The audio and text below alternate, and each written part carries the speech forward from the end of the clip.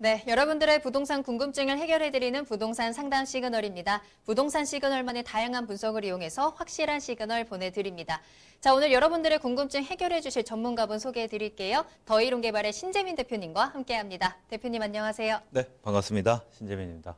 네, 여러분 오늘도 토지부터 건물 그리고 이 주택 시장까지 모든 부동산에 관한 고민들을 한번 대화를 나눠 볼 테니까 오늘 상담들을 통해서 여러분들의 부동산 상식도 올라가고 내 재산은 어떻게 될까 이렇게 궁금할 때는 이렇게 전화도 한번 해보시면서 부동산 이야기들을 풀어 나가도록 하겠습니다. 네, 오늘 신재민 대표님과 함께 여러분들의 궁금증 속 시원하게 풀어드리도록 하겠습니다. 고민 있으시다면 망설이지 마시고요. 지금 바로 연락 주세요. 저희 문의 전화 열어두도록 하겠습니다. 022128-3802번, 022128-3802번이고요. 문자도 모두 활짝 열어둘 테니까요. 주저하지 마시고 연락 주시기 바랍니다. 자, 그럼 오늘의 첫 번째 상담 전화부터 연결해 보도록 할게요. 안녕하세요, 시청자님. 여보세요. 네, 안녕하세요. 네, 안녕하세요. 반갑습니다. 여보세요? 네네. 네, 네. 고민 해결해 드릴게요. 어떤 게 궁금하세요?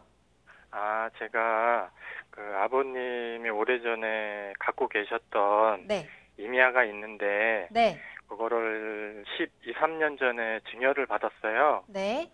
근데 이제 그거를 갖고 있으면서 제가 경제적으로 어려워서 네. 최근에 매물로 내놓을까 생각을 하고 있는데 네, 네.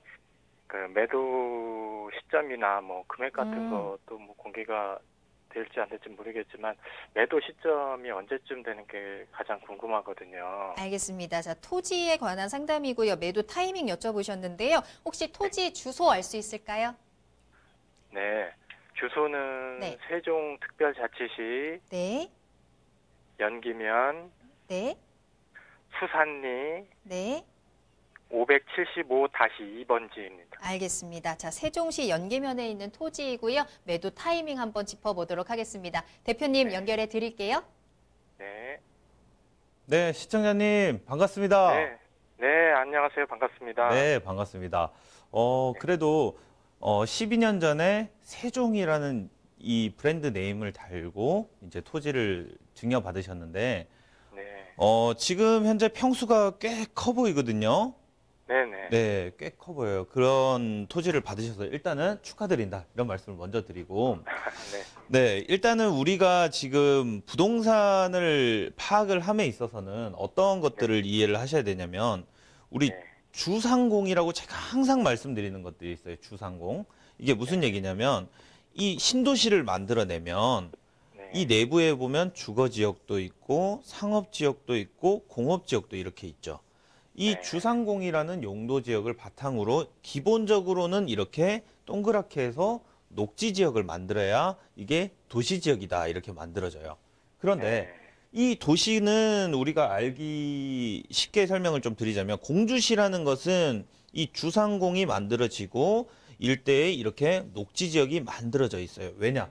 점진적인 도시화거든요. 과거부터 생겨서 과거에 조그마한 촌락에서 혹은 이런 큰 촌락에서 확장이 되는 이런 도시화가 진행되던 곳이기 때문에 주상공에 이은 녹지 부분까지 만들어져 있는 상황인데 자 그러면 한번 설명을 한번 드릴게요. 주상공이고 이 주변이 녹지 지역입니다.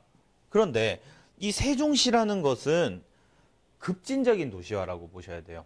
과거부터 이렇게 자라난 도시가 아니고 갑자기 계획에 의해서 주상공이 만들어진 도시라는 거예요. 그러면 우리가 토지 투자를 할 때에 가장 큰 어, 차익 포인트를 바라볼 때는 어떻게 바라봐야 되냐면 우리가 항상 말씀드릴 때 제가 교집합을 말씀을 좀 많이 드려요. 네. 그래서 도시가 주상공이 있으면 이 내부에는 빈 땅들이 없다라는 거예요. 내부에는 빈 땅이 없으니까 신도시가 만들어질 때는 어떻게 됩니까? 이 주변으로 이렇게 신도시들이 만들어져 나가야 되겠죠. 그러면 이 도시가 상업 지역도 커지고 공업 지역도 커지고 주거 지역도 커지고 왼쪽에 오른쪽에 있는 이 신도시마저도 내부가 꽉 차서 도시가 확장이 될 때는 어디가 네. 포인트가 되냐? 이 교집합 부위가 포인트가 된다라는 개념이에요. 네. 그러면 우리가 일반적으로 이 공주시와 세종시의 사이에 있는 장군면 같은 경우에는 굉장히 차익이 많이 발생을 했어요.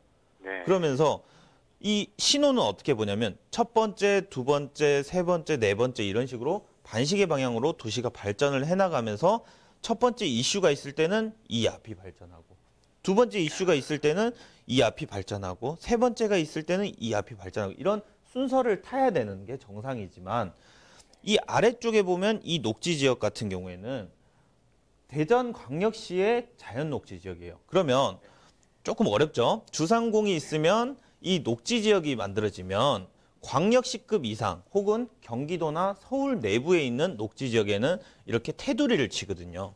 이게 뭐냐면 우리가 흔히 알고 있는 그린벨트라는 토지예요. 그래서 이 그린벨트는 아 이곳을 넘어오지 마라 이렇게 경고를 하는 지역이거든요. 그래서 네. 장군면이 띄었지만 이 일대의 주거 지역이나 상업 지역이 조금 띄었지만 오히려 이 내부에 있는 녹지 지역은 뜨지 않았다는. 그래서 녹지가 재미없다라고 생각을 하실 수도 있지만 이 도시가 발전을 해나가면 이 주변은 자연스럽게 녹지 지역이 형성이 되면 이것이 도시 지역으로 성장을 할 수 있다라는 관점에서 바라볼 때는 지금 현재 상황에서 오히려 장군면만큼 못 올라서 속상하신 건 있겠지만 이 도로 여건이나 산업단지라든지 이런 일대의 호재들이 조금씩은 있거든요. 네. 그래서 이 국도변을 따라서 있는 지금 현재 형태도 좀 부와 이런 다산을 상징하는 그런 형태로 지금 생겨 있어요. 그러다 보니까 이 국도변에 있는 특히 세종시 인근에 있는 이 교집합 지역의 약간 위쪽이기 때문에 시간이 조금 걸릴 뿐이지 가치 상승은 분명하다라고 볼 수 있거든요. 그런데 지금 시청자님께서 말씀해 주실 때 어, 지금 돈이 조금 급하다 이렇게 말씀을 하셨어요. 그런데 지금 제가 바라보는 입장에서는 대략 5년에서 10년 정도 이렇게 버틸 여력이 좀 되신다면 오히려 보유를 하는 것이 훨씬 더 유리하다 이렇게 말씀을 드릴 수 있어요. 근데 혹시 한 5년에서 10년 정도 버틸 수 있는 그런 힘이 있으실까요? 아, 그거는 조금 뭐 버틸 수 있다면 버틸 수 있겠지만 네네. 조금 힘들어서 아, 일부분이라도 조금 매매를 하는 게 어떨까 생각 아, 중이십니다. 그렇다면 제가 조금 팁을 알려드릴게요. 이 내부에 들어가서 보면 네. 이 일대에서 지금 시세가 어, 예를 들어서 지금 현재 시세 말고도 이 주변 시세에서 여러 가지 지금 들어와 있는 상황들이 있어요. 사람들이 이 일대에서 이렇게 해서 좀 많이 짜갈라서 이렇게 들어오는 경우가 있었거든요. 네. 그런 경우에는 좀 싸게 들어와서 좀 비싸게 나가는 경우가 있었습니다. 네. 그래서 이 일대니까 아시겠죠? 네. 네. 그래서 요런 일들을 벌이기에는 우리가 양심상 조금 힘든 얘기고 오히려 여기는 고- 국어가 좀 붙어 있는 상황이거든요. 근데 국어가 도로 포장까지 만들어져 있는 상황이에요. 네. 그래서 지금 현재 이 일대에서 어, 조금 잘라 팔고 싶다. 그렇다면 어떤 식으로 나가는 게 좋으냐면 이 국어를 기점으로 거의 절반 형태를 잘라가지고 세로로 자르면 안 됩니다. 세로로 자르면 안 되고 괄호로 잘라가지고 좀 길 형태는 내고 네. 큰 덩어리로 반틈 정도 이렇게 넘기는 것은 괜찮다 이렇게 볼 수 있겠고요. 오히려 아래쪽을 정리를 하시는 것이 조금 더 현명하겠다라고 말씀드릴 수 있습니다. 그래서 국어는 어차피 국가의 소유라고 보시면 될 것 같아요. 네. 그래서 국어 위에 있는 어, 시멘트가 깔린 도로 같은 경우에는 다시 이걸 농사 짓지는 못하거든요. 시멘트가 올라간 자리에는 네. 오히려 어, 다시 농사를 짓지 못해요. 다시 고구마를 심지 못한다는 얘기거든요.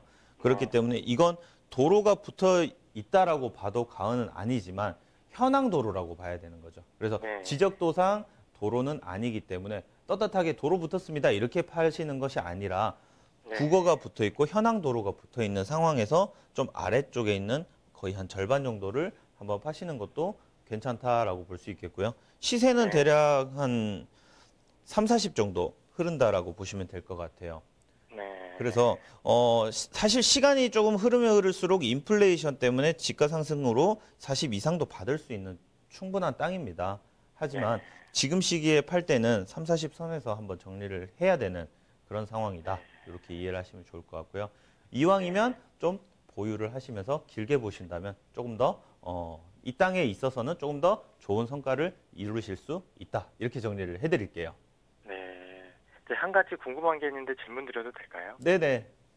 예, 다른 게 아니라 그 서울 세종고속도로 세종 IC가 저희 산에서 지도상 한 1.5km 떨어진 부분에 생길 예정인데 네네. 올 12월 달에 착공을 들어간다고 해요. 네네.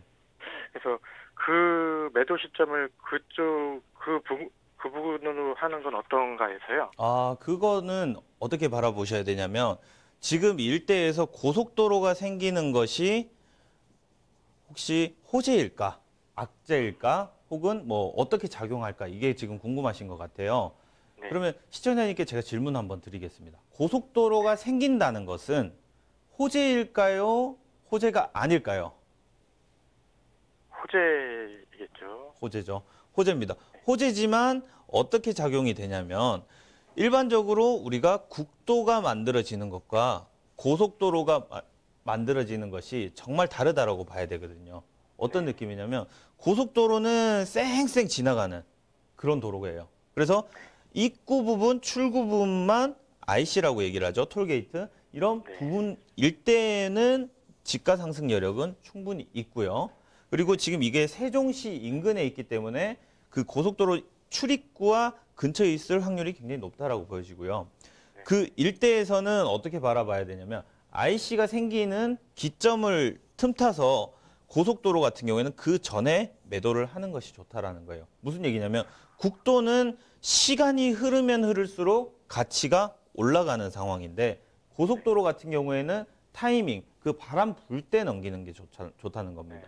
그래서 어, 고속도로 호재가 있다라면 오히려 어, 이 고속도로 호재를 틈타서 넘기는 것도 하나의 방법이지만 고속도로 호재로 인해서 사람들이 부동산 투자를 하기에는 조금 약한 부분이 있다라는 거예요. 왜냐하면 우리가 일반적으로 학습 효과라는 것이 있어요. 학습 효과라는 건데 이 일대에 있는 분들은 세종 세종시에 대한 가치 상승을 보셨어요. 세종시라는 어마어마한 이런 도시가 하나 들어오면서 집가 상승하는 그 여력을 보셨다는 거예요. 그렇다면 그분들이 다른 신도시가 만들어지는 그 주변으로 가고 싶어 할까요? 아니면 일대에서 고속도로가 만들어지는 곳을 호재라고 보고 들어갈까요? 어떤 것이 더 나을까라고 판단을 했을 때는 오히려 신도시 쪽으로 들어가는 것을 선택을 한다라는 개념이 되거든요. 그래서 오히려 고속도로라는 것은 큰 호재로 바라보지 마시고 오히려 네. 어, 조금 어, 우리가 한 문턱을 넘을 수 있는 그 정도의 호재거리로 바라보시고 물론 그 호재거리가 있다라는 것은 내 땅의 가치를 조금 더 높게 바라봐실 봐주실 수 있다라는 점에 있어서는 오히려 한 단계의 플러스 알파 정도 이렇게 보시면 좋을 것 같다라는 개념이고 그 호재가 바람이 불 때 서리슬쩍 이렇게 딱 끼어서 넘겨버리는 것도 또 하나의 방법이 될 수 있다라고 정리를 해드리겠습니다. 네, 알겠습니다. 감사합니다. 네, 감사합니다.